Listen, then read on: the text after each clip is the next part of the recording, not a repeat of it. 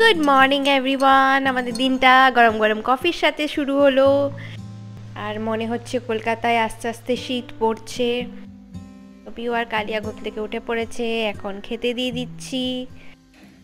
কি সুন্দর নিজেদের বাটির সামনে বসে অপেক্ষা করে খাবারের জন্য। এই যে দুজনের আবার আলাদা আলাদা খাবার। কালিয়ার আবার মিউর খাবারটা খুব পছন্দ, কিন্তু কিছু করার নেই, দুজনের আলাদা আলাদা খাবার, আলাদা আলাদাই খেতে হবে।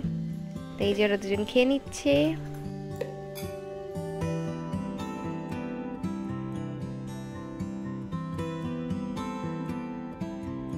এখন চলে এসেছি আমি ব্রেকফাস্ট বানাতে আর ও গেছে বাজারে। তো বাজার থেকে ফিরতে ফিরতে আমি ব্রেকফাস্টটা এদিকে রেডি করে নিই যাতে ও এসেই খেয়ে নিতে পারে। আজকে আমি বানাচ্ছি গোলা রুটি। আর আজকে আমাদের খিচুড়ি বানানোর প্ল্যান আছে। সপ্তাহে একদিন করে আমরা ঠিক করেছি খিচুড়ি খাওয়ার, সব রকম সবজি দিয়ে। তো সবজি নিয়ে আসবে আর দেখি সাথে কি আনে। এই যে মিউ খাওয়া দাওয়া করে বসে আছে আর কালিয়া ব্যালকানিতে ঘুরছে। আর এই যে বাজার থেকে চলে এসছে, দেখি কি কি এনেছে। আর এই ক্যাস্টার অয়েলটা অনেকদিন পর পাওয়া গেছে, হেয়ারের জন্য এটা খুবই ভালো। চারাপোনা পেলাম তো ভাবছিলাম রুই বা কাতলা নেব ঠিক আছে? দেখলাম পাঁচশো মাছ আছে। পাঁচশো মাছ নিয়ে গেছি পাশে মাছ কি ভাজা করব? হ্যাঁ খিচুড়ি আর পাঁচশো fry. Who's this? Why is this? হ্যাঁ আমাকে দেখলে দুটোকে সহ্য হয় না আমি একটা ঠিক আছে? মিউ ওর কাছে বেশি যায় না, কিন্তু এখন যেহেতু মাছ এনেছে, তাই ওর পেছন পেছন ঘুরছে। এই যে অনেক সবজি এনেছে, আমার ব্রেকফাস্ট রেডি করার আগে ও চলে এসছে। আর প্রথমে শেপটা একটু বাজে হয়েছে দেখিন পরেরগুলো কিরম হয়। তো এই দেখুন, পরেরগুলো বেশ গোল গোল হয়েছে, সুন্দর হয়েছে। এবার এটা সস দিয়ে আমরা খেয়ে নেব। আর এই দেখুন, এখানে আমি অনেকগুলো সবজি কেটে নিয়েছি, সিম, গাজর, মূলো, মূলোর পাতা, আর ডাল এদিকে আমি ভেজে রেখেছি।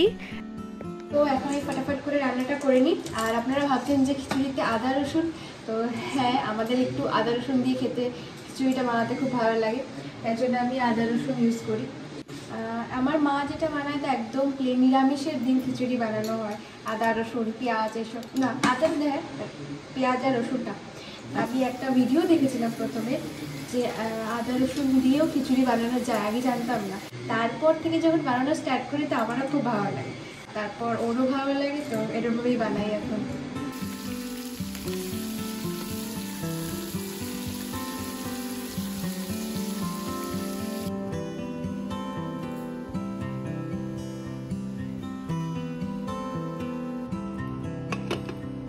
খিচড়ি রেডি এবার গরম গরম খাওয়া যাক। সাথে শশা কেটে নিয়েছি আর শুকনো লঙ্কা ভেজে নিয়েছি। শুকনো লঙ্কা দারুণ লাগে খেতে, ভাজা শুকনো লঙ্কাটা। আর এদিকে পাশে মাছ ভাজা, আমাদের লাঞ্চ রেডি সাথে একটু ঘি। বিকেল হয়ে গেছে চারটে বাজে, এখন আমরা একটু ছাদে এলাম মিউর সাথে। মিউ ছাদে এলে খুব খুশি হয়ে যায়। তাই যতই কাজ থাকুক, আমি একটু টাইম বের করে মিউকে ছাদে নিয়ে আসি। আর কালিয়াকে তো আনা পসিবল না, ও আসতেই চায় না। আমার সাথে বেরোতেই চায় না, মারপিট করতে লাগে।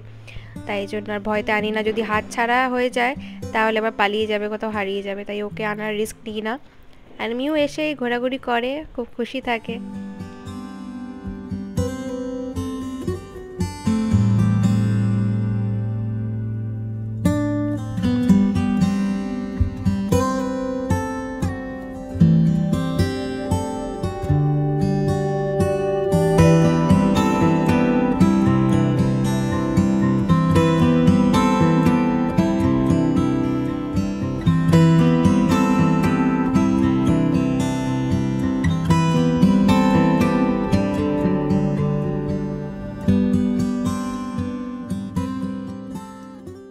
আমাদের ছাদে ঘোরা শেষ, এবার এসে চা বানিয়ে নিলাম।